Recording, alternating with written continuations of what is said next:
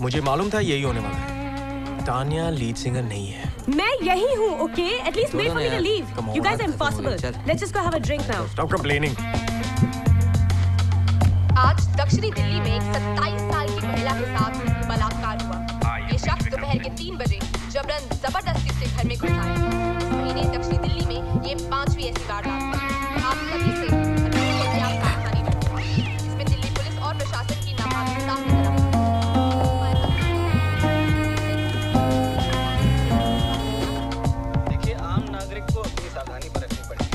पड़ेगी police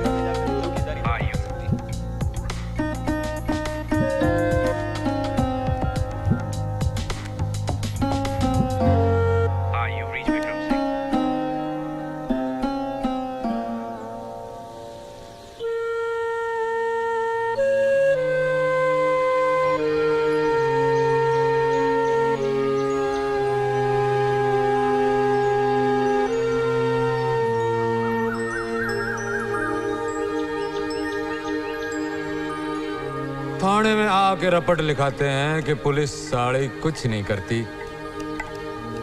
police क्या लोगों के घर चिटकड़ियाँ लगाती घूमेगी?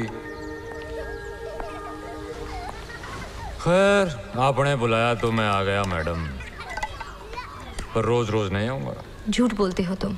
मैं तो कानून का आदमी हूँ मैडम। मैं झूठ कैसे बोल सकता हूँ? तुम ही ने तो कहा था कि मैं गा सकती हूँ। कहा था कि नहीं? मान लिया मुझसे थोड़ी गलती हो गई मैडम। पर तुमने भी तो बेवकूफ़ी करने में कोई कसर नहीं छोड़ी। खैर बेवकूफ़ी की कोई सज़ा नहीं होती। बस सबक लो और नेक्स्ट सजा ही तो मिल रही है। प्रिया बीमार है। विक्रम का अता पता नहीं। डॉक्टर को देने के लिए पैसे भी नहीं है। और मैं बिल्कुल अकेली हूँ। कभी ना कभी तो तुम्हें बाहर जाना ही था। नहीं तो तुम घर पर पड़ी पड़ी कुड़ती रहती। कि मैं ये कर सकती थी मैं वो कर सकती थी।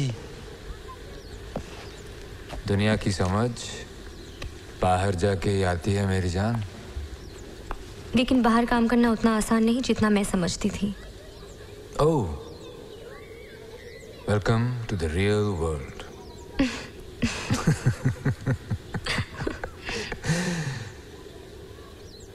देखो मैं तुम्हारी पूरी ज़िम्मेदारी तो नहीं ले सकता।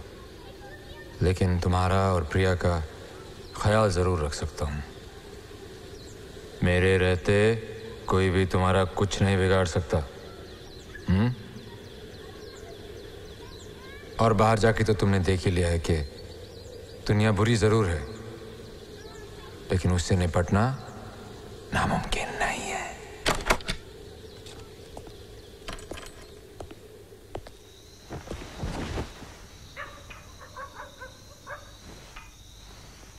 प्रिया की तबीयत खराब है। पर तुम कैसे लेट हो गए? मैं लेट क्यों हो गया? घर आते बस यही रट लगाती हो। आज मेरी प्रमोशन होते होते रुक गई। क्या? दूसरों की बीवियाँ उनके साथ जाती हैं उनकी मदद करती हैं। और तुम? पर तुमने तो मुझे बाहर ले जाना बंद कर रखा है। हाँ क्योंकि तुम एक मामूली शहर की फालतू लड़की हो। तुम्हें गाने के सिवा आता क्या है? तुम चाहती हो मैं दिन भर तुम पर ध्यान दूँ? है क्या तुम्हें ध्यान देने जैसा? कोई फ़ायदा नहीं तुम्हारा मुझे।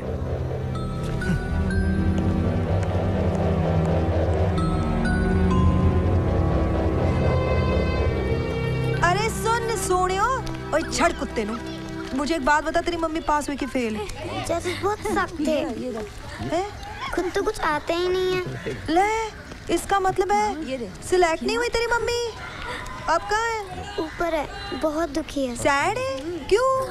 इसमें सैड होने वाली क्या बात है? ये तो होते ही मैंने बहुत मेहनत की है। हाँ, तो कोई नहीं। अच्छा चल मैं समझाती हूँ उसे हैं? नहीं आप मत जाओ। क्यों? कहाँ थोड़ी ना जाऊँगी मैं?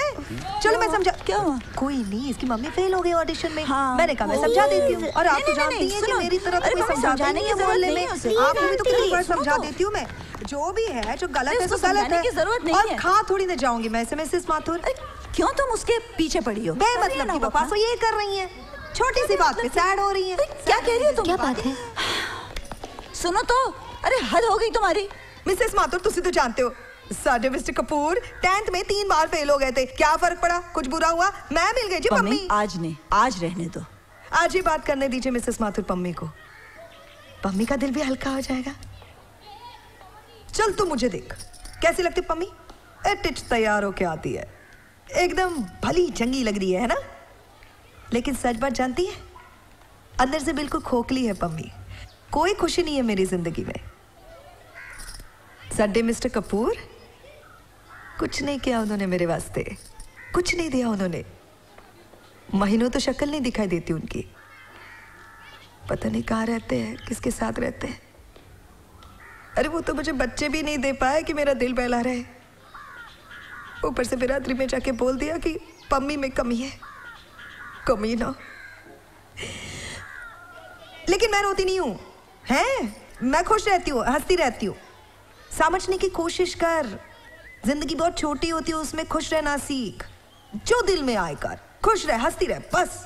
भाई हमसे तो नहीं जी जाती आधी अधूरी ज़िंदगी है मिसेस माथुर है ना?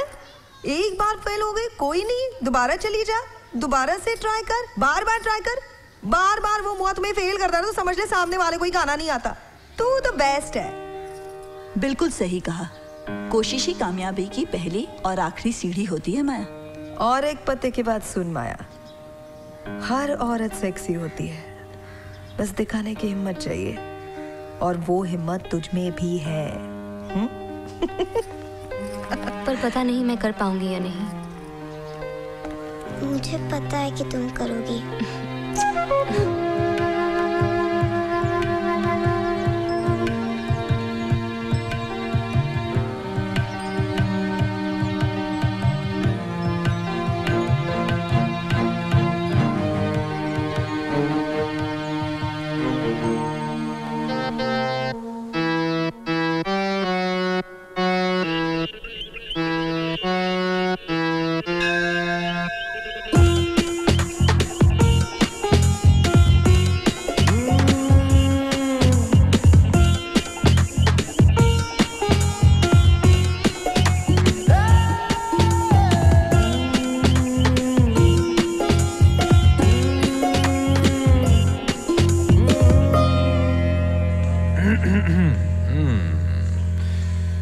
धुन तो ये अच्छी है लेकिन थोड़ी और गहराई होनी चाहिए। ऑडिशन कैसे जाऊँगी पर? उन्होंने मुझे पहचान लिया तो? और अगर विक्रम को पता चल गया तो जूते पड़ेंगे। पर तुम क्या सोच रहे हो? सोच रहा हूँ कि तुम कैसे कर पाओगी। तुम्हारे तो हज़ार लफड़े हैं। तुम्हारा मन इधर से उधर उधर से इधर इधर से उधर। बंदर की तरह झूल रहा है। नहीं मैं पूरा मन लगाऊँगी।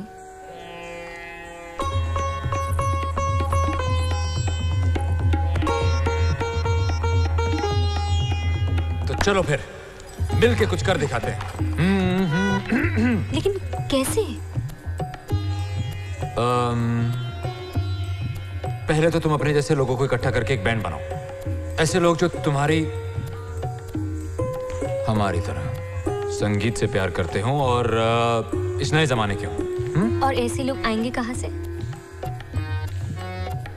पड़ोस से। नहीं वो कह चुके वो मुझे नहीं लेंगे।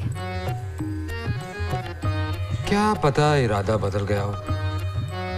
आखिर वो भी तो ऑडिशन पे गए थे। इतनी बेइज्जती सहकर दोबारा जाओ। पहले तो अहंकार को अपनी कला के रास्ते से हटाओ। क्योंकि अहंकार और कला का कोई मेल नहीं होता। आली मुझे तुमसे कुछ कहना है। बोलो। जानते तुम ऑडिशन में कामयाब क्यों नहीं रहे? क्योंकि तुम्हारे पास एक अच्छी लीड सिंगर नहीं थी। और मैं भी नाकामयाब रही क्योंकि मेरे पास एक अच्छा बैंड नहीं था। अगर हम साथ मिलकर काम करें तो शायद अच्छा पर बात खत्म हो गई अभी। वो तुम मुझ पे छोड़ दो। तुम पे कैसे छोड़ दें? तुमने भी तो ऑडिशन पास नहीं किया। देखो आदमी गिरने की बाद ही उठता है। आई don't know, man. कोई नहीं अगली बार हो जाएगा Yeah, you know, this is the struggle. You want a drink or something? बस मैं सोने जा रही हूँ Ali I'm very tired.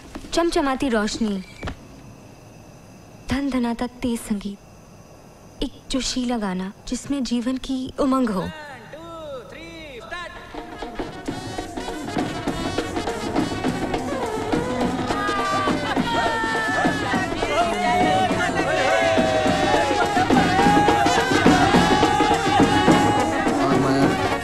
I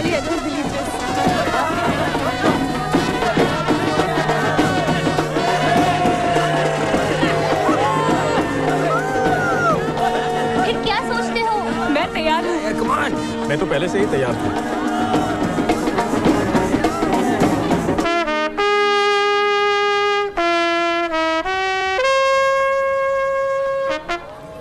वाह आज तो बैंड ही बजा दिया उनका। तुम ही लाए थे ना बैंड ओ वो वो तो मैं ऐसे ही कभी कभी ले आता हूँ। लेक्चर तो दे दिया। ऐसा गाना होना चाहिए। अब कहाँ से लाओ? लाना तो पड़ेगा। और ऑडिशन में ऐसे घिसे पिटे कपड़े कैसे पहन के जाओ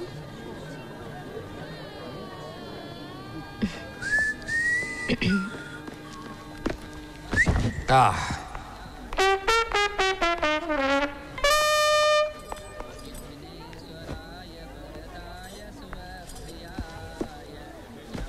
तुम इसे क्यों नहीं बेचती? ये ये काम मैं नहीं कर सकती। अरे क्यों? ये तो तुम्हारी मंजिल तक पहुँचने का बहुत ही अच्छा रास्ता है। और छोटी सी तो कुर्बानी देनी है।